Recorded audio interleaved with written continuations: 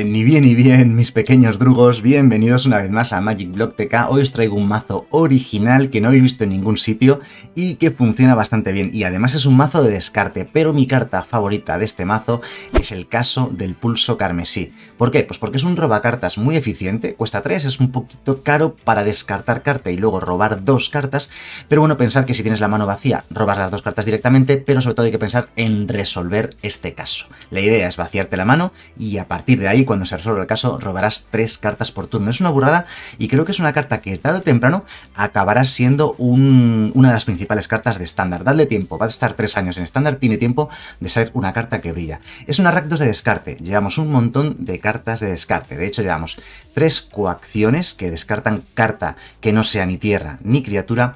Llevamos dos sueños de acero y aceite que descarta artefacto o criatura. Y tenemos además también las, lilianas del velo, que hacen descartar carta a cada jugador o hacen sacrificar criatura o bueno, la habilidad definitiva a la cual nunca llegas y si llegas ganas la partida prácticamente de forma automática. A esos quitacartas hay que sumarle un montón de anticriaturas, como por ejemplo podría ser el caso de la marcha de la tristeza amarga, que tiene varias eh, funcionalidades en este mazo. Primera funcionalidad, ganar un montón de vidas. Segunda funcionalidad, exiliarte cartas de la mano para conseguir resolver el caso del pulso carmesí. Tiene esa pequeña sinergia por ahí, ¿no? Tres golpes a la garganta para matar también criaturas que no sean artefacto. Tenemos una copia de triunfo amargo tiene una pequeña pega, ¿vale? O pagas tres vidas o descartas carta, pero también te ayuda a resolver el caso, ¿vale? Por lo de descartar cartas, o sea que puede ser interesante. Erosionar tres dañitos o destruir artefacto, como podéis ver, llamo removals de todo tipo y con versatilidad a ser posible. Ah, bueno, por cierto, hay un quitacartas que no os he mencionado, son sacar la verdad. Lo que pasa es que esta carta es versátil porque o hace sacrificar encantamientos, fijaos lo que os decía de la versatilidad, o miras una carta de. Una, miras la mano del rival y le quitas una carta de criatura, encantamiento o planeswalker. Lo pongo aquí con los quitacartas. Y tenemos también de removal colapso fundido. Destruyes que o Planeswalker y si has descendido, es decir, si un permanente tuyo ha ido al cementerio este turno, desde cualquier parte, aunque sea desde la mano, ojo a eso porque tienes formas de descartar, eh, vas a poder destruir también un permanente de que no sea criatura ni tierra de coste 1 menos. Fichas de tesoro, fichas de mapa, fichas de sangre, etcétera, etcétera. En estándar es lo que vas a poder encontrar.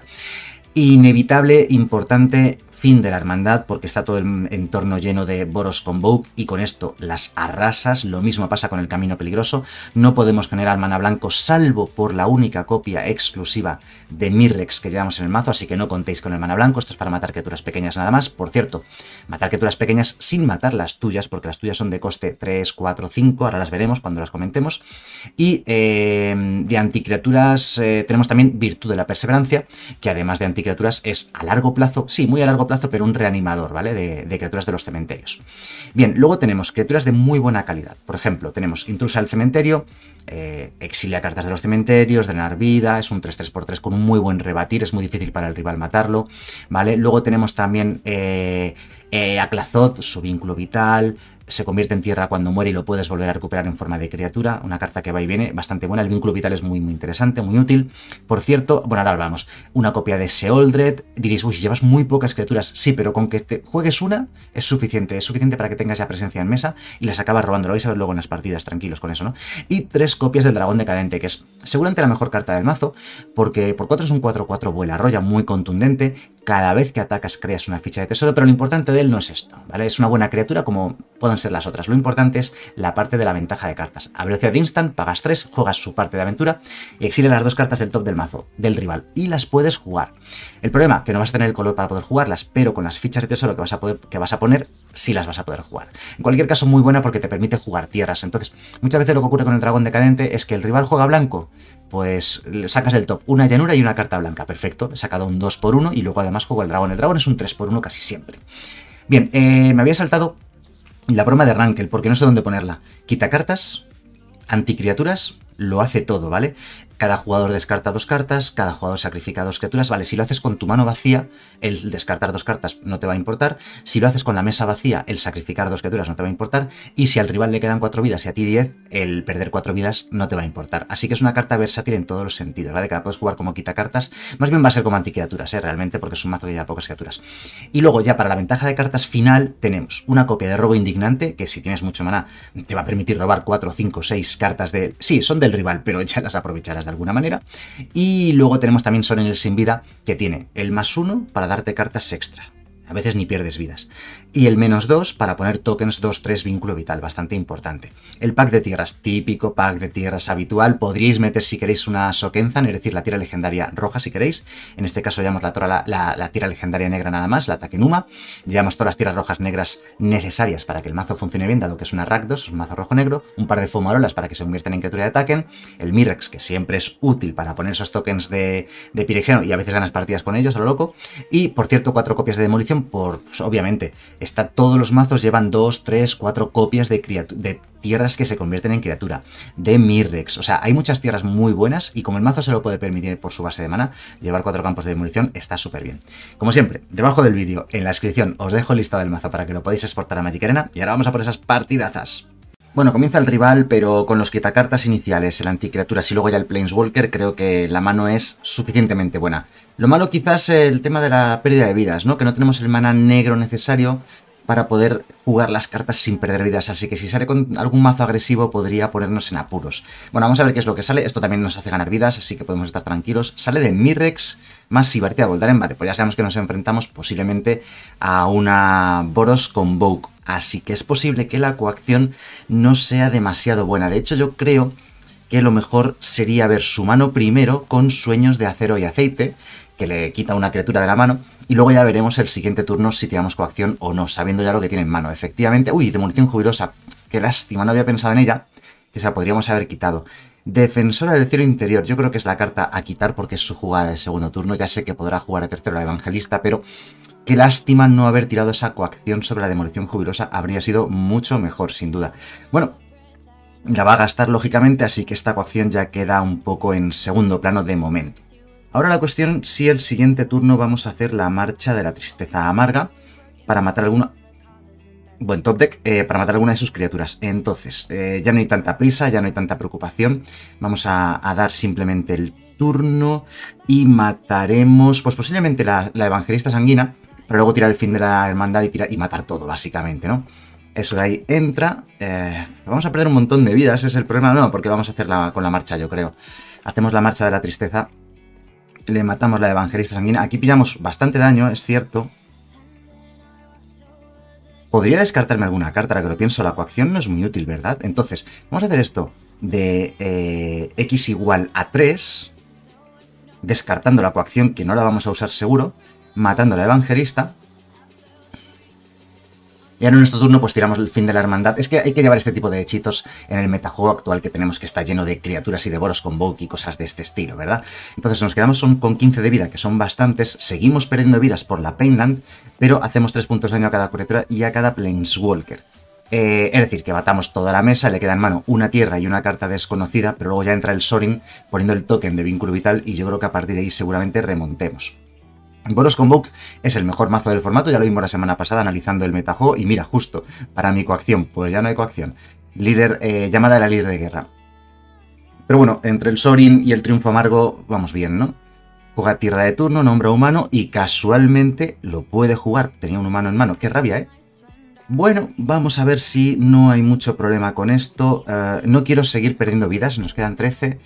Podríamos jugar campo de demolición. Es que esto hace bastante daño, ¿eh? Vamos a... Y esto nos va a hacer perder vidas posiblemente. Pero es que el ataque Numa... Ay, nos puede servir para buscar un Seoldred o para buscar algo... Venga, va, perdamos una vida más. No creo que vayamos a perder por esa vida. Ya sería mala suerte. Estamos todavía con 12. Vamos muy sobrados. Él tendría que robar muy, pero que muy bien. Una carta muy buena ahora para que no empecemos a ganar vidas de forma abusiva, ¿no? Y el Triunfo Amargo aún así sigue siendo una buena baza por aquí.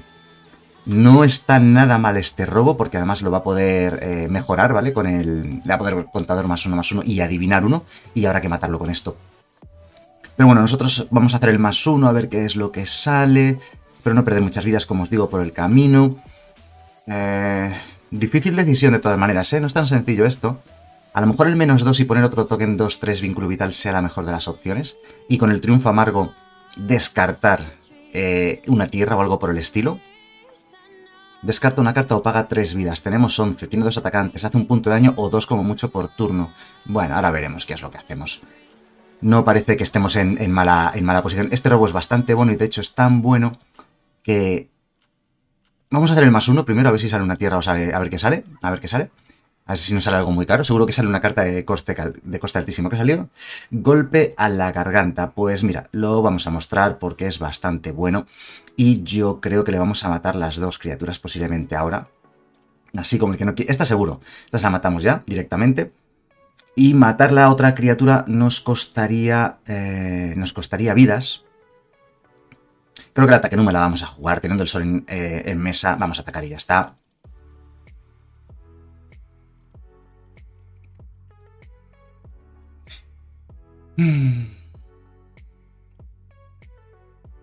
La vamos a jugar.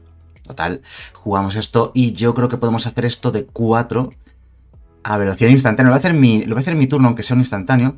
2 y 2, 4, efectivamente, descartándome el triunfo amargo, pero ganamos 4 vidas por el camino, matamos eso, subimos a 15, perdemos una, o sea que bajamos a 14. No, subimos a 15, ganamos 4 y nos ponemos muy pero que muy bien. Ya el siguiente turno ponemos otro token más con Sorin y prácticamente pues robemos lo que robemos estaría totalmente controlado. El hecho, ya sabéis cómo funciona por los Convoke, ¿no? Se basa en tener criaturas en mesa. Si no tiene criaturas en mesa, pues no puede hacer absolutamente nada. Así que parece que el rival se ha rendido, ¿no? Como que ha dicho, le ha cortocircuitado aquí la cabeza no, sigue, vale. Vale, vamos a ver si se rinde ya, porque yo creo que no tiene ya muchas más opciones. Roba cartas, si es una tierra se va a rendir. Ah, bueno, no, todavía no, porque tiene la ficha de pista. Puede robar todavía una carta extra. A ver qué es lo que hace, si se rinde o no. Y pasamos a la siguiente partida, porque bueno, el mazo este... Una coacción, no la voy a tirar. Vamos a, vamos a poner token, vamos a atacar. Bueno, ¿por qué no la tiramos, no? Vamos a tirarla a ver qué es lo que tiene en mano. A lo mejor tiene justo un hechizo. Vale, pues no, era un caballero errante de Dios. Ya sabemos qué es lo que tiene le podríamos romper el Mirrex con un campo de demolición antes de que empiece a poner tokens. El, el Caballero de Dios no sirve de nada jugado como tal cual, por, como 4-4, porque la gracia de la criatura es que te dé más criaturas, ¿no? Así que tiene que convocar con ella. Este robo es muy bueno. Esta Evangelista Sanguina. 3-2, eh, nos hace un daño, pone un token 1-1 volador. Si se muere, pone otro token volador. Eh, afortunadamente no es suficientemente grande como para bloquearnos, pero podría ser el comienzo de ponernos en problemas. ¿eh? Esta evangelista sanguina la verdad es que es bastante oportuna para él. Aún así, bueno, cada ataque que hacemos ganamos 4, lo que pasa es que cada ataque que él hace perdemos más, perdemos un montón, perdemos 6, ¿no? Vale, nosotros buscamos también tierra, tierra básica, supongo que un pantano, que el mazo lleva más negro que rojo, y robamos tierra. Vale, vamos a ver qué es lo que nos da Sorin, a ver qué carta nos da aquí desde el top. Otra tierra que vamos a mostrar y poner en nuestra mano. Vamos a jugar tierra de turno, la fumarola sin sosiego, que la podremos utilizar. Y yo creo que un ataque eh, con uno de los dos vampiros y guardar el otro bloqueando para bloquear al vampiro... Bueno, espérate. Este, si ataca con las dos, sería un 3-2. También podemos atacar con todo y seguir metiendo presión. Quizás él lo que hace es jugar el cabero errante de Eos y nos da un poquito igual. Vamos a atacar con las dos. 14, subimos a 19, el pega... Está poniendo un poquito en apuros. Vale, vamos a dejar que nos mate el Sorin sin, el, el sin vida, ¿de acuerdo? Que él tenga la opción o de atacarnos a nosotros. El caso es que le quedan 10 de vida, ¿vale? Y luego tenemos también la fumarola el siguiente turno para atacar 2-3, eh, descarta roba, ¿no? Así que, ¿es descarta roba o roba descarta? Supongo que es descarta roba. Puede descartar una carta, si cerrar una carta, efectivamente es descarta roba. Vamos a ver si hace el convocar. Lo más inteligente por su parte sería seguramente el convocar del cabero errante de Eos, o sea que no nos va a atacar, es lo que quiero decir, para intentar hacer un último ataque final, pero tenemos 19 vidas, ¿vale? Entonces por eso estamos bastante tranquilillos. El caballero eh, convocando efectivamente nos hace un daño, pero solamente pilla cartas de coste 2 o menos, ¿vale? Como solo tenía, solo convoca con 2, le han salido 2, no está mal, y además dobles, ¿eh? Refuerzos decididos y defensor del cielo interior. No, está nada mal, ¿eh? y puede jugar las dos, wow. Nos hace un montón de, daños con, de daño con la llamada de líder de guerra, y el siguiente turno, si se top hace un eh, reclutador de Imodane, pues podría llegar a mm, hacernos una barbaridad de daño.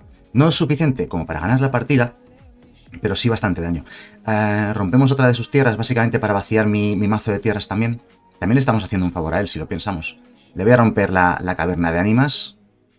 Tiene un par de Painlands. Bueno, podría servir de algo. Vale, va a activar la habilidad de la defensora del cielo interior, con lo cual en un par de turnos puede volar. Ojo que, que aquí nos acaba remontando como sigamos así, ¿eh? 3-4, el siguiente turno podrá volar. Adivina uno. Y bueno, lo que adivine da igual porque la tira hacia abajo la carta que ha adivinado. Eh, vamos a romper tierra, por tanto lo que haya hecho es irrelevante. Porque va a tener que barajar el mazo, o no, bueno, no es obligatorio barajar el mazo, si no quieres puedes no buscar tierra, aunque yo sí, puede, buscar, puede no buscar tierra y por tanto no tendría que barajar el mazo, puedes buscar y no encontrar, por ejemplo, o sea, aunque tengas, puedes buscar y no encontrar si no te interesa, nosotros buscamos por aquí, pues da igual, ¿no? Una montaña, por ejemplo, ¿vale? Entonces eh, llega nuestro turno, robamos otra tierra, pocas tierras hemos robado yo creo, tenemos la fumarola con la cual no podemos atacar porque nos puede bloquear fácilmente. Entonces ahora con el Sorin es mostrar la carta de arriba o poner otro volador. Ojo que pega una barbaridad de él, ¿eh? Creo que tenemos que poner otro volador más. Con el cual tendremos que bloquear. Atacaremos con... Bueno, jugamos tierra de turno. Atacamos con las voladoras. Tenemos dos bloqueadores realmente. Tenemos este vampiro de aquí y tenemos eh, la fumarola sin sosiego con la cual también podemos bloquear, ¿vale? El problema es que esto es vuela vigilancia si él quiere. Y vuela vigilancia nos va a poner un poquito en apuros. Porque este también vuela. O sea, si se queda bloqueando y empieza a alargar la partida, empieza a amarrar, podría simplemente remontarnos bloqueándonos con la defensora de cielo interior. Si atacamos con las tres, lo dejamos a dos de vida. Bueno, espérate, no, no lo dejaríamos a dos de vida. A dos o a cuatro, dependiendo si quiere bloquear con el murciélago. Así que necesitaríamos robarnos un anticriaturas. Vale, robar algo que no sea tierra estaría eh, bastante bien, ¿no? Que es una cosa que parece que no está ocurriendo mucho. Mm, ataca con todo, un poco a lo loco, ¿no? 3 y 3, 6, 12, 16, 19, 22. Por tanto, no es letal. Pero nosotros sí que seríamos letales. Podríamos bloquear con la fumarola sin sosiego y luego atacar solo con las voladoras. ¿Vale? Es lo que vamos a hacer. Vamos a bloquear con la fumarola sin sosiego a una de sus criaturas. Eh, a cualquiera. Bueno, cualquiera, ¿no? A la que más pegue para que no nos mate. Y entonces eh, él no contaba quizás con que bloqueásemos con esta, de modo que tenemos un ataque de 6 con las voladoras. Se ha puesto muy, muy, muy valiente aquí el rival y salvo milagro, creo que ganamos la partida. Vale, uff, me ha hecho sudar al final, ¿eh? casi, casi, casi nos remonta. Bueno, salimos nosotros y tenemos una mano buena, con anticriaturas, variados y luego el Seoldred, así que bueno, nos la vamos a quedar lógicamente. No tenemos cartas, que al final es de lo que va el mazo, de quitar cartas del rival, no tenemos ni una coacción ni nada, pero bueno, vamos a... obviamente la mano no es un mulligan, o sea, nos la tenemos que quedar, ya sé que no es la esencia del mazo, no es la idea, que es un mazo de descarte, pero eh, tampoco pasa nada. ¿Os acordáis cuando os dije esta carta que me parecía muy buena? El caso, el caso del pulso carmesí. Creo que es una carta muy buena que se juega poco. Algo se ve en alguna monored agro, algún mazo de ese estilo, pero yo creo que tarde o temprano acabará siendo una carta mm, relativamente jugada. Rojo, blanco, azul, esgrima, hechizos, Kenra. ¿Qué hacemos? ¿Lo matamos ahora? Lo voy a matar ahora por razón de curva de mana, ¿de acuerdo? Lo freímos ya. Y así podemos aprovechar mejor el maná que tenemos, en lugar de esperarme a hacer la virtud de la perseverancia. Vale, entonces este robo eh, me gusta. Por cierto, esto funciona bastante bien con Seoldred. ¿Y qué me descartaría de la mano que tenemos ahora mismo? Rojo, blanco, azul... No sé de qué va el mazo del rival, es un poco extraño de momento para mí. Me voy a quitar el Sorin, yo creo. Son muy buenas las cuatro cartas que teníamos, ¿vale? Pero viendo que es un mazo de criaturas, tampoco me quería quitar los anticriaturas. Por cierto, vamos camino peligroso.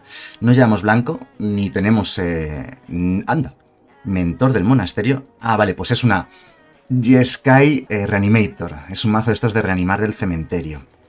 Así que nos acabará poniendo en problemas tarde o temprano. Vale, lo que vamos a hacer es... Eh, puede que lleve contrahechizos, ¿eh? Ahora lo pienso. Puede que lleve contrahechizos. Por eso el fin de la hermandad puede ser importante. Bueno, pero el camino peligroso también. Aunque esto aguanta, tiene coste 3. Vamos a meter el Seolded por optimizar el uso del maná. Y le voy a dejar vivo el mentor del monasterio. Porque como tenemos el fin de la hermandad, creo que estamos bien. Y luego además el camino peligroso se llena, de se llena la mesa de tokens. Vamos a ver qué es lo que hace contra un Seoldred. Y también así aprovechamos los 4 de mana que teníamos disponibles. Es que se tiró el fin de la hermandad. a veces también es importante eso, ¿de acuerdo? El tema del aprovechamiento de maná. Creo que era un buen turno para jugar al Seoldred con la situación que... Vaya, esta no me la esperaba. Esta no me la esperaba. Lleva también inicio de fuego angelical. Qué cartonazo, el cual tenemos completamente olvidado y lo divertido que es esta carta, ¿eh? Dos contadores más uno más uno. Vigilancia, arrollar, vínculo vital, indestructible y prisa hasta al final del turno. Y ahora, matar esto es más problemático que antes, claro. Eh, tampoco es imposible, eh, pero es más problemático. Vamos a tener que matarlo con la marcha de la tristeza amarga, yo creo porque hay que matarlo. ¿Y qué nos descartaríamos? Pues quizás el camino peligroso sea la carta menos útil. Vamos a hacerlo de esta manera, ¿vale? Entonces, em, marcha de la tristeza amarga. Por cierto, es fácil en este mazo vaciarte la mano para el caso del pulso carmesí con la marcha, ¿vale? Eh, pero no vamos a hacer, podemos darle menos 3, menos 3. Vale, así hay que hacer esto. Lo vamos a hacer de 5, ¿no? 3 y 2. No, vamos a hacerlo de 4. descartándome el camino peligroso.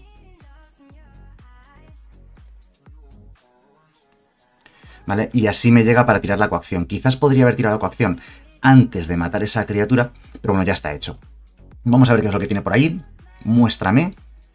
Uy, tiene dos esgrima hechizos Kenra y todo lo demás dopadores. Coraje hogareño que puede jugar desde el cementerio, o sea, lo puede jugar por duplicado. Y luego además también las furias monstruosas que puede jugar a velocidad instantánea. Uf, no me gusta nada. Le voy a quitar esto que pone contadores más uno más uno para que no lo pueda jugar tan a menudo. Y vamos a empezar a meter presión ¿eh? con el Seold, que hace que bajen muy rápido sus vidas. Entonces a él le llega para hacer esgrima hechizos, o sea, esgrime hechizos, perdón, y además furia monstruosa. Con el mana que tiene, no, porque tiene un solo mana rojo, que le va a costar vidas por la Painland. Y tiene cuatro cartas rojas en mano. Vale, vamos a ver. Y sigue sin tener doble rojo. Entonces, bueno, desde el cementerio puede jugar el coraje hogareño. Ojo que desde el cementerio puede jugar también la ignición de fuego angelical. La cuestión es que tenemos un par de removals que vamos a usar para matar sus criaturas. Y le pone contador más uno más uno, destreza, 4-4, arrolla, menos mal que no tiene prisa, así que no nos preocupa en absoluto y lo vamos a matar a continuación. De hecho, le podemos matar prácticamente todo ahora mismo y ya está, ¿no? Uh, menos 3, menos 3 a esta cosa Podríamos haber hecho fin de la hermandad, de la hermandad y matar dos criaturas. Quizás era, era el momento adecuado, ¿verdad? Atacamos. Y yo creo que le vamos a destruir también el token. Sí, yo creo que sí, en principio sí. Es que me quiero vaciar la mano. Porque si te consigues vaciar la mano, el, caso del pulso carmesí te da de robar tres cartas por turno, eso es una borrada. Esta carta es buena porque simplemente por tres robas dos. Sí, te has descartado una, pero no pasa nada, robas dos. Y luego ya más adelante vas robando tres cartas por turno, es muy buena esta. Me gusta, me gusta. A veces le estoy dando mucho, a veces le doy mucho cariño a algunas cartas. Uh, en Impacal, buen robo. Ay, buen robo, con que tiene, no tiene mana rojo, ¿vale? Para jugar las cartas que tiene en mano. Yo creo que me voy a gastar ahora esto por aprovechar el maná, lo que os decía antes. Por aprovechar bien el maná, le vamos a matar esa cosa. Espero no arrepentirme de gastar mi removal masivo.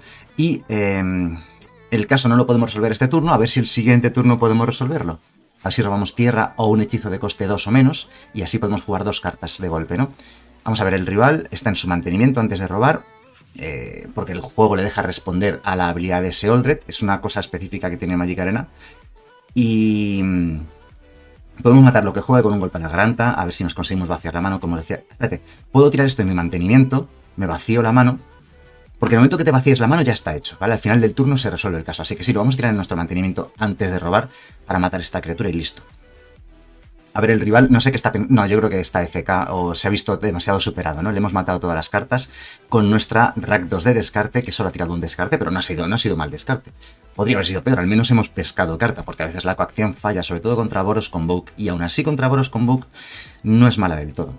Bueno, parece que este es otro rival que se nos ha rendido completamente, así que vamos a jugar otra partida. Bueno, vamos a ver, salimos nosotros, lo cual está genial, como siempre, no tenemos quitacartas, pero bueno, tenemos eh, removal, buenas criaturas, vale, está bien, la mano nos la podemos quedar, eso sí, saldremos con tierra girada para tener acceso al rojo-negro eh, ya en el segundo turno, y tampoco tenemos nada especial que jugar, así que vale, montaña vas, mm, raro.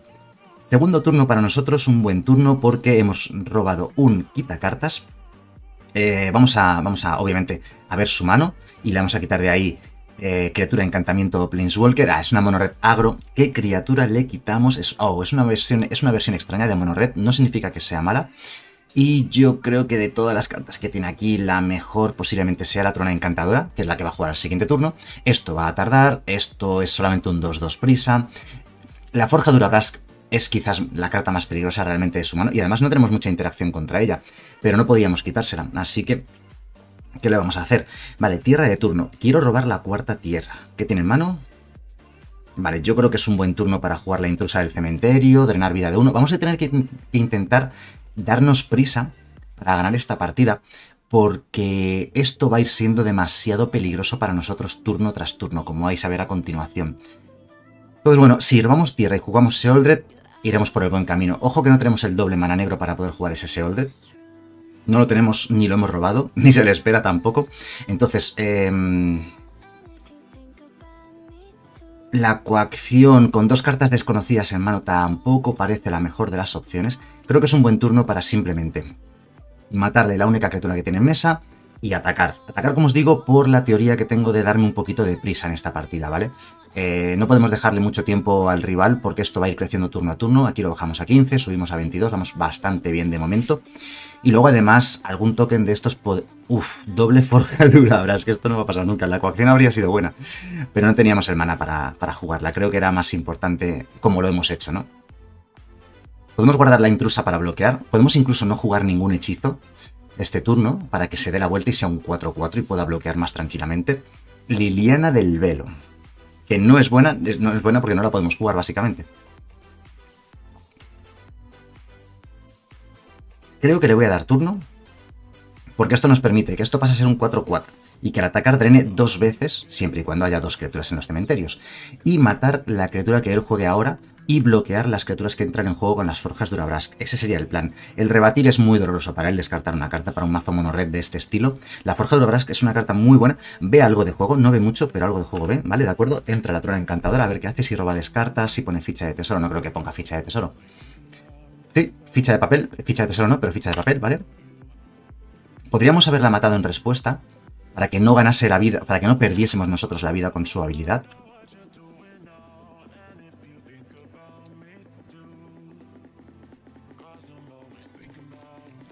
Vale, sabemos que podemos bloquear gratis ahí. Yo creo que los dos puntos de daño me los voy a comer, ¿de acuerdo?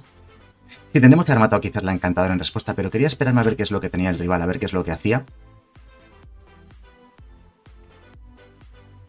Vale, no hace nada más, se queda con tres manas enderezados a pesar de tener la dicta al peligro de Voldaren. Vale, vamos a gastar aquí. Esta carta es muy buena porque nos puede hacer ganar un montón de vidas. Pero la voy a gastar normal, ¿vale? Vamos a hacerle un par de puntos de daño a la truna encantadora. Para matarla y para atacar con la glotona, ¿vale? Y así, ya digo, bajar bastante sus vidas. Es que es importante ese tema. Subimos a 19. Con la Liliana también podríamos haber matado a esa criatura. Tierra de turno girada. Ya. La juego. Coacción, triunfo amargo. Tiene una carta en mano desconocida, dudo que tengamos suerte con eso. Voy a atacar sin... Espérate, sí, está bien. Voy a atacar sin más. ¿Vale? Porque al fin y al cabo pues hacemos drenar vida de uno, eso está bien. Y en su turno, con el triunfo amargo, probablemente decida matar a alguna de sus criaturas, ¿vale? Creo que los tokens no debería gastar el removal en matarlos, creo que debería gastarlo el, el triunfo amargo en la adicta al peligro de Voldaren, en respuesta a su habilidad de respaldar cuando pone los dos contadores más uno más uno, antes, en respuesta, matarla para que no pueda sacrificarla y hacer tres puntos de daño. Y, eh, bueno, le quedan 10 de vida, ¿eh? A nosotros nos quedan 19, o sea, vamos muy bien. Eso sí, va a poner, eh, nos pega bastante ahora, pega, pega, pega una barbaridad. Cómo sube de rápido el tema de las forjas de Urabrask cómo bajan sus vidas, ¿vale? Pero cómo suben de rápido las forjas de Urabrask y qué la Liliana contra esta cosa, ¿no? Vale, parece que no va a jugar de momento la adicta al periodo de Voldaren. Es un ataque de 7, o sea que tenemos que plantearnos el tema de bloquear algún turno próximo lo antes posible. Creo que Serodel va a estar bien cuando lo juguemos, creo que va a ser suficiente. Puede bloquear uno de los dos tokens, nos va a hacer ganar un par de vidas. Va a hacer perder un par de vidas más al rival, ¿vale? Está ya muy justito de vidas. Vale, no haces nada más. Qué pena, no, tiene tierras no básicas. es que nos está viniendo un poquito mal todo esto.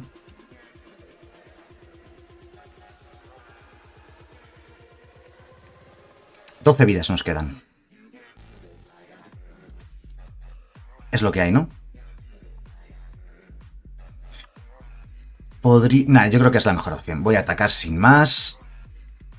No hacemos nada lo dejamos ya únicamente con 6 de vida, de modo que estaremos prácticamente ya ganando con el Seoldred. El Seoldred lo usaremos para bloquear al token más pequeño, entonces en principio no debería matarnos. Me da un poquito de miedo esa dita al peligro de Voldaren, ¿vale? Porque pero tiene mana suficiente para poner dos contadores más uno más uno sobre el token más grande, sacrificarlo y matarnos.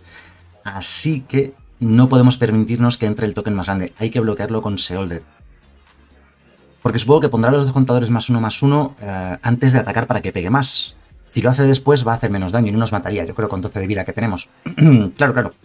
Adicta el periodo de Golden más el token más grande que pega 5 y 2, 7. Tenemos que bloquear eh, al menos con el Shrouded uno de los dos tokens y luego ya ganar atacando con la glotona, en principio. Pero con el Shrouded no vamos a poder ganar la partida tal cual está la cosa. Vale, no entiendo muy bien por qué ha hecho eso, en lugar de hacerlo después y sacrificar el token con la habilidad de la dicta al periodo de Voldaren. Ah, que nos va a matar el Seoldred. Vale, tampoco nos mata, porque con esto no hace 12 puntos de daño, que es lo que nos queda, y a la vuelta con la grotona nosotros sí que lo matamos a él, ¿vale? Hace drenar vida de 2 nada más atacar, bueno, drenar vida de 1 porque solamente hay una criatura, 4 y 5, 9. No ha echado bien las cuentas. Tenía varias opciones y ninguna le valía para ganar la partida, ¿no? O sea que también ha hecho cualquier cosa y ya está. Bueno, pues volvemos a salir nosotros. La mano no es demasiado interesante. Eh, muchas tierras, un anticriaturas, un par de criaturas de coste 3 y 5. Pero bueno, tampoco es mulligan. Esta mano es suficiente para quedártela, así que me la voy a quedar. Voy a salir con esto girado, que no tenemos mana rojo en mano para el segundo turno y nunca se sabe lo que puede pasar. Eh, lo que podemos necesitar o que podamos robar. Así que tierra girada de primer turno y luego ya en el segundo turno podremos hacer lo que sea. Rojo, blanco, Boros Convoke podría ser y acabamos de robar la mejor carta posible contra Boros Convoke. Entonces la idea es dejar que meta criaturas en mesa. Ah, pues no, no es una Boros Convoke, es algún tipo de Boros Spells. Mm. Venga, no voy a darle la oportunidad de que esto se nos vaya de las manos, que crezca más de la cuenta. En total, va a haber que gastar seguramente el golpe a la garganta igualmente. Y robamos mana rojo por aquí y rojo por aquí, lo digo, eh, para poder jugar el fin de la hermandad sin perder vidas el siguiente turno. Así que vamos a jugar la intrusa del cementerio. También he matado esto para poder hacer la intrusa al cementerio y empezar ya con el drenar vida de uno, que ya sabéis lo buena que es. Es muy importante la intrusa al cementerio actualmente en estándar porque hay muchos mazos basados en cementerio. Entonces, es una carta que te puede ayudar a ganar una partida de esas contra mazos de combo de cementerio, que los hay, hay bastantes. Mazo de spells, ¿no? Supongo llevará, ojo, ah, también lleva Virtuoso Iluminador, cuidado, Boros, Virtuoso Iluminador y a este me habría gustado matarlo con el golpe a la garganta. El fin de la hermandad eh, además nos mata nuestra propia intrusa del cementerio y ya le está metiendo cosas. ¡Ay, Dios mío! Se descarta esto, ya es un 3-2 dañado. ¡Uy, qué top deck! Madre mía, qué suerte hemos tenido con este robo que me salva completamente la vida. Además nos permite atacar con la intrusa y volver a, quitar carta de, de su cementerio, criatura, concretamente. Así que el mejor robo posible habríamos podido guardarnos el fin de la hermandad. Vale, le quitamos el virtuoso iluminador del cementerio, drenar vida de uno y la mejor salida posible hemos tenido contra el mazo del rival. Mazo súper peligroso, ya sabéis cómo es el mazo de virtuoso iluminador. Te despistas y te pega de 35, así tal cual, y encima seguro que lleva alguna forma para protegerlo o algo del estilo. Y nos ha matado Liliana con esta cosa, que además eh, podría haberla sacrificado. Ah, no, porque no ha hecho daño al jugador. Pero ah, el Aclazot lo parte por la mitad al oponente. Así que tranquilos que esto está ganado. Atacamos, yo voy a seguir atacando, ¿vale? Porque a él le quedan 14 de vida, le estamos metiendo bastante presión.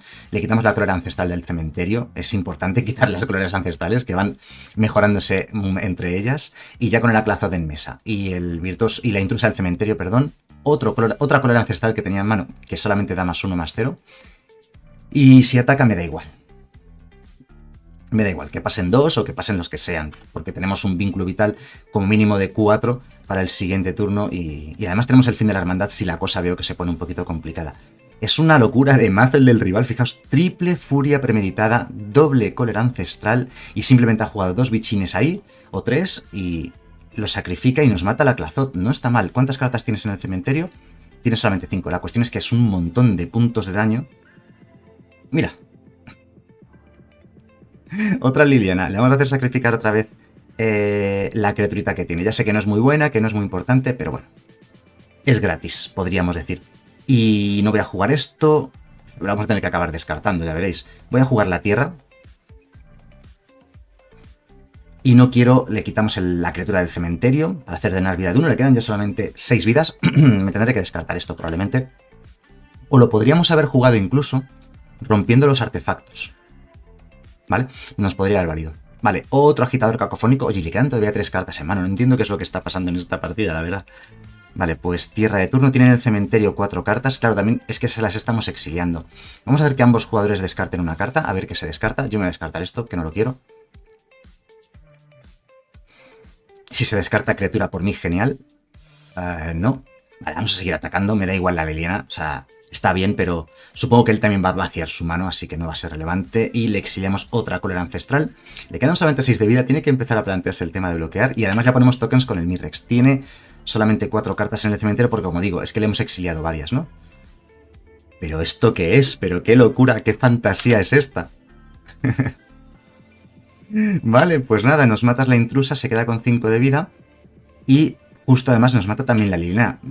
Enhorabuena, chapo. O sea, es decir, cómo está resistiéndose. Tiene 6 cartas en el cementerio. Estoy todo el rato mirando las cartas en el cementerio para poder darle la vuelta al templo de los muertos. Madre mía, y otra amenaza más que pone en mesa. Vamos a ver si robamos algo bueno, porque todavía nos podría remontar, eh, que nos quedan 19 de vida. Y esto gana muchos contadores y... No lo puedo creer. Triple... ¿Cuántas coleras ancestrales ha jugado? Una, dos, tres, ¿no? Es la tercera. Menos mal que hemos exiliado algunas de ellas. Eh, no podemos atacar porque nos bloquea gratis la tierra de la mano.